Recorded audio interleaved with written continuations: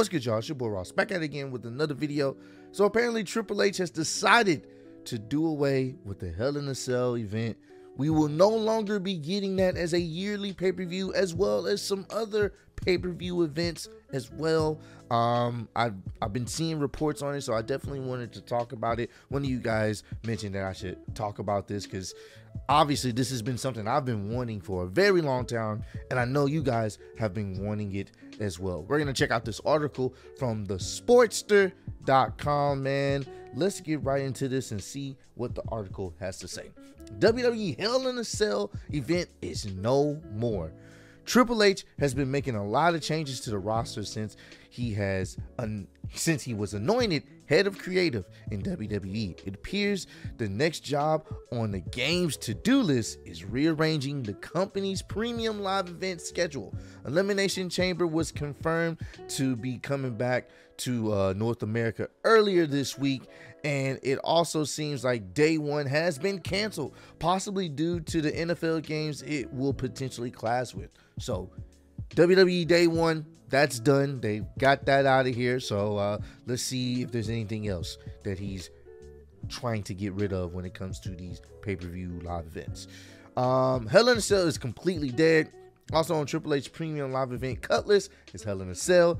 That's according to Russell WrestleVotes in a new report via Give Me a Sport. According to the report, Russell WrestleVotes, a typically uh, reliable wrestling source, is of the belief WWE Hell in a Cell event is completely dead. The news comes at around the same time PLE would typically take uh, uh, the PLE would typically take uh, take place uh, each year. The event, built around what might be WWE's most famous match, began in 2009 and has taken place once a year every year since then, including a few months ago. In fact, 2022 Hell in a Cell was one of the last PLEs to take place before Vince McMahon retired. The show was headlined by Seth Rollins and Cody uh, Rhodes as the latter battled through a painful looking torn pec to win the match, which was a very good, enjoyable match. The match will remain Although this year and last year's Hell in a Cell events were held in June, every other one to come before it took place in October, with the exception of 2018 when it went down in September. Hence, the expectation that the event might have to be back at some point this month. Triple H and WWE has gone with extreme rules instead, confirming not all events themed after a particular match type will be scrapped under the new regime.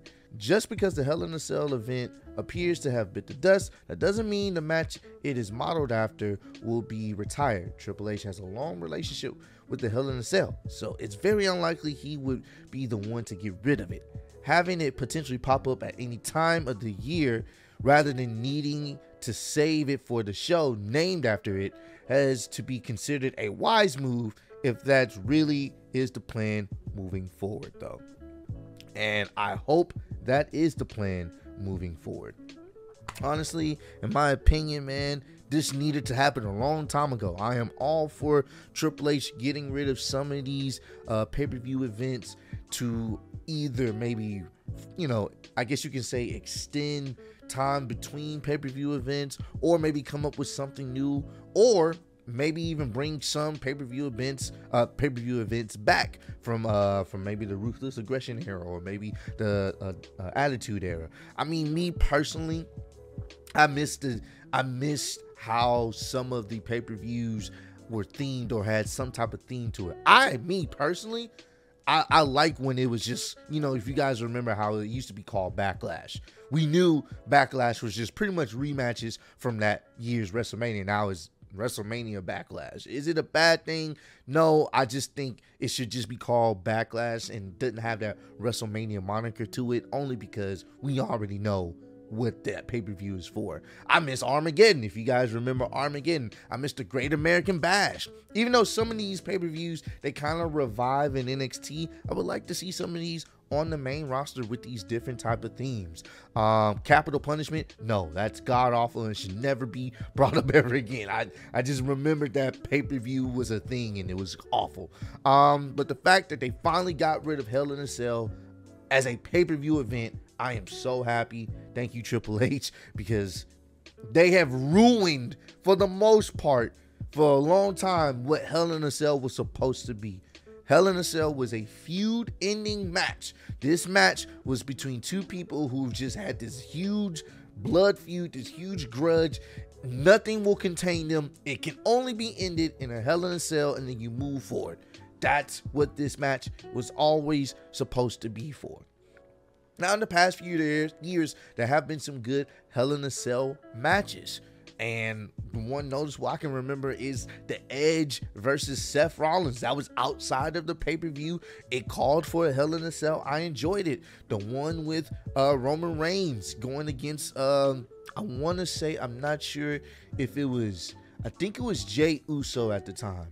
I want to say it was. I think he was going against Jey, and Jimmy was kind of injured at the time. So that I, I enjoy that that pay-per-view event like it, it, it, had some weight to it. You know even recently with cody rhodes going against seth rollins in the torn pec even though in my opinion i didn't think it needed the hell in a cell but obviously hell in a cell was right around the corner and this worked. This was good. Either way they they killed it. So i think triple h doing this will now it'll be a situation where we'll get the we'll get a hell in a cell and it's gonna feel special because it's gonna be like, uh oh, this is gonna be a big one. This is not at at the pay per view event. This is gonna be like a like a one off situation, like a feud ending match, and we you know it's gonna be it's gonna bring more excitement in if we just saw it every single year, once a year.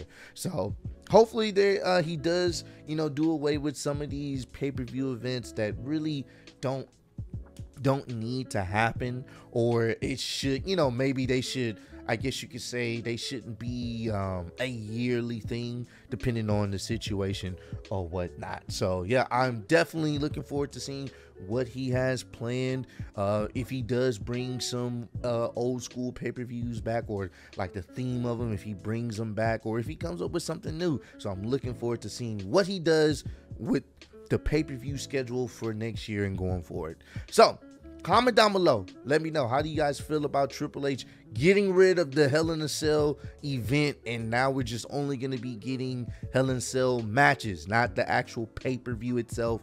We'll actually get a match potentially. So it'll, it'll, it'll have that uniqueness to it like it used to have. So let me know how y'all feel about that. And also let me know if there's any other pay-per-views or show uh, premium live events as they call them now.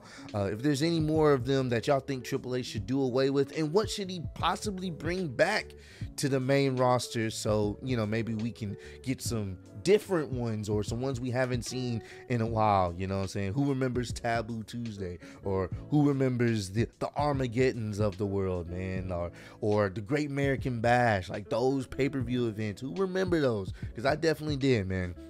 But I appreciate all the love and support on the channel.